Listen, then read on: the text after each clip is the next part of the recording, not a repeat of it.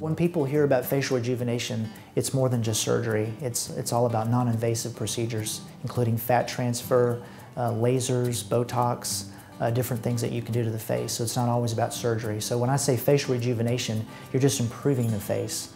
You're not, you're not actually performing major surgery on the face. One of the things that I found to be very successful as part of the facial rejuvenation procedures is fat transfer. Facial rejuvenation using fat transfer is very effective because you can use it on men and women, especially a lot of people who are trying to get back into the workforce. Uh, they're coming in and they just want something really quick. They want something that they can get done and within a matter of a couple of weeks are back on track.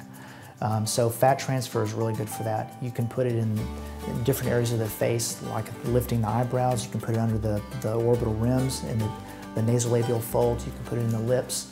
Um, and then you can do some laser work. And just, just little simple things like that can take the patient a long way without doing major surgery. Fat transfer is basically taking fat from another part of the body, harvesting it, and rinsing it of all of the uh, oils and then putting it back in somewhere else.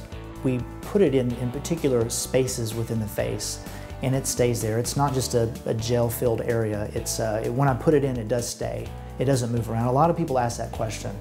Uh, but, but it's their own fat, it's their own body, and so there's not going to be an immune problem or a rejection problem or infection.